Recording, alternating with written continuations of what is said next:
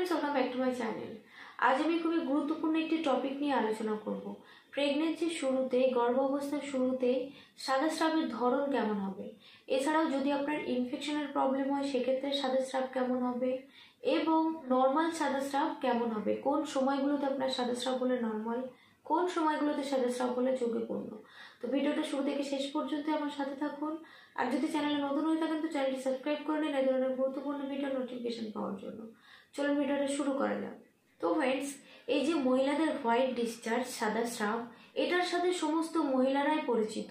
কারও কারও ক্ষেত্রে পিরিয়ডসের আগে হোয়াইট ডিসচার্জ শুরু হয়, কারও কারও ক্ষেত্রে পিরিয়ডসের পরে হোয়াইট ডিসচার্জ শুরু হয়।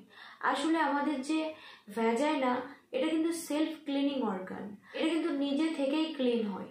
যেমন দেখুন, আমাদের যেমন চোখ, নাক, কান এবং ঘাম গ্রন্থি। এই সমস্ত জায়গাগুলোর কথা ভাবুন। চোখে যদি কোনো রকম ধুলোবালি ঢোকে, চোখের জলের সাথে সেটা বের করে দেওয়া হয়। যদি কানের মধ্যে কোনো রকম ধুলোবালি ঢোকে, তো সেক্ষেত্রেও কানের মধ্যে একটা মোম আকারে জমা হয়, যেটাও আমরা বের করে দিতে পারি। এছাড়াও আমাদের যে সোয়েট গ্ল্যান্ড, আমাদের যে ঘাম গ্রন্থি, এই ঘাম গ্রন্থির মাধ্যমে যে ঘাম বের হয়, সেটা কিন্তু আমাদের শরীরের ভেতরকার টক্সিন বাইরে বের করে দেয়। আমাদের শরীরকে কিন্তু ক্লিন করে। সেম আমাদের ভ্যাজাইনা ভ্যাজাইনা ক্লিন করার জন্য হোয়াইট ডিসচার্জ প্রডিউস করে। ভ্যাজাইনা কিন্তু নিজে থেকে পিরিয়ডসের আগে ক্লিন করে এবং পিরিয়ডসের পরেও ক্লিন করে। তো এই যে সাদা স্রাব কখনো কখনো সাদা স্রাব দেখা, এটা কিন্তু সম্পূর্ণ নর্মাল এবং হেলদি একটি প্রসেস তো আপনি এই যে সাদা স্রাব এটাকে কিন্তু বন্ধ করতে পারবেন না। কারণ এটা একটি উপায়, আপনার ভ্যাজাইনাকে রাখার তবে অতিরিক্ত পরিমাণে সাদা স্রাব কিন্তু ভালো নয়। তো সেটা আমি পরে আলোচনা করছি। পিরিয়ডসের কাছাকাছি সময়ে যদি আপনি বাইরে কোথাও থাকেন, তো সেই সময় যদি আপনার এই ধরনের হোয়াইট ডিসচার্জ স্টার্ট হয়, তো আপনি হয়তো ভাবতে পারেন যে আপনার পিরিয়ডস চালু হয়ে গেছে। তো প্রেগনেন্সি কনসিভ হলে শুরুতেই কিন্তু হোয়াইট ডিসচার্জের পরিমাণ অনেকটাই বেড়ে যায়। তো সেক্ষেত্রে হোয়াইট ডিসচার্জ কিন্তু আপনার ডিমের সাদা অংশের মতো হতে পারে, অনেক বেশি পরিমাণে। এবং কারও কারও ক্ষেত্রে কিন্তু গাঢ় টাইপের দুধের মতো সাদা স্রাবও হতে পারে। শরীর ভেদে কিন্তু হরমোনের কাজও ভিন্ন হয়, ফলে সাদা স্রাবের যে ধরন সেটাও কিন্তু ভিন্ন হবে।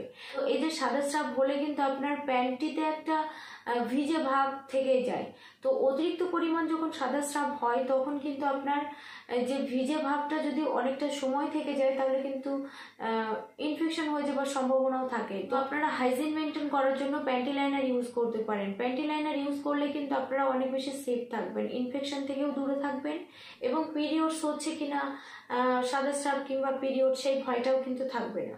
তো ফ্রেন্ডস আমি এভারটিনের প্যান্টি লাইনার ইউজ করি এবং সবাইকে এটাই কিন্তু আমি সাজেস্ট করি, কারণ এটা সম্পূর্ণ কটনের তৈরি এবং দ্রুত আপনার ভিজে ভাবটাকে কিন্তু অ্যাবজর্ব করে নেবে।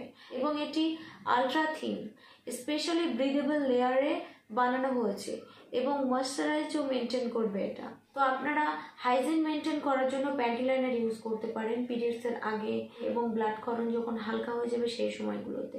তাহলে কিন্তু আপনার ভ্যাজাইনার স্কিনের কিন্তু অত বেশি র্যাশেস বা যে একটা বার্নিং পজিশন তৈরি হয় সেটা কিন্তু হবে না। এবং প্রেগনেন্সির সময় তো হোয়াইট ডিসচার্জের পরিমাণ অনেক বেড়ে যায়, সেক্ষেত্রে তো আপনারা অবশ্যই প্যান্টি লাইনার ইউজ করবেন। এবং আরেকটা বিষয় হয়, যখন বেবি পেটের মধ্যে বড় হতে থাকে, তখন কিন্তু ব্লাডারের ওপর চাপ পড়ে। প্রস্রাবের যে থলি, সেই প্রস্রাবের থলির ওপরে চাপ পড়ে। সেক্ষেত্রে অল্পতেই কিন্তু প্রস্রাব লিকেজ হয়ে যায়। তো সেই সময়েও কিন্তু আপনারা প্যান্টি লাইনার ইউজ করতে পারেন, তাহলে কিন্তু পরিষ্কার পরিচ্ছন্ন থাকতে পারবেন।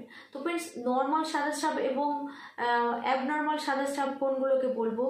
যদি আপনার স্বচ্ছ টাইপের সাদা স্রাব হয়, ডিমের সাদা অংশের মতো, সেটা কিন্তু নর্মাল এবং মিল্কি হোয়াইট সাদা স্রাব হলে, দুধের মতো সাদা সাদা স্রাব হলে সেটাও কিন্তু নর্মাল যদি আপনার হলুদ রঙের, বাদামি রঙের এছাড়াও ধূসর রঙের এই ধরনের সাদা স্রাবগুলো যদি হয়, এছাড়াও আপনার যদি সাদা স্রাবের সাথে দুর্গন্ধ থাকে বা ফাটা ফাটা টাইপের সাদা স্রাব হয়, সেক্ষেত্রে কিন্তু অবশ্যই ডক্টরের সাথে পরামর্শ করতে হবে।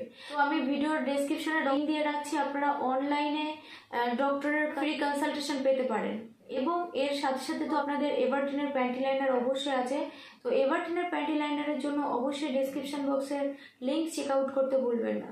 তো ভিডিওটা ভালো লাগলে অবশ্যই লাইক করুন আর চ্যানেলটি সাবস্ক্রাইব করা না থাকলে সাবস্ক্রাইব করে নিন, এ ধরনের গুরুত্বপূর্ণ ভিডিও নোটিফিকেশন পাওয়ার জন্য।